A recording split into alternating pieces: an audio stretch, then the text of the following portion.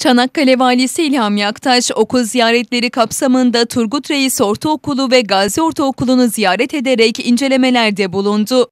Vali Aktaş ilk olarak Turgut Reis Ortaokulu'nu ziyaret ederek okul müdürü Şule Yıldızoğlu'ndan okulun genel ve eğitim durumu hakkında bilgiler aldı. Öğrencilerle de bir süre sohbet eden Vali İlhami Aktaş, öğrencilere derslerinde başarılar dilerken koronavirüs sürecinde maske takma, sosyal mesafe ve temizlik konularına dikkat etmelerini istedi. Daha sonra Gazi Ortaokulu'na geçen Vali İlham Yaktaş, okul müdürü Hakan Genç'le bir süre görüşerek sohbet etti. Derslikleri gezerek öğrencilerle yakından ilgilenen Vali İlham Yaktaş, öğrencilere tavsiyelerde bulunarak derslere çalışmalarının yanı sıra kitap okumaları tavsiyesinde bulundu.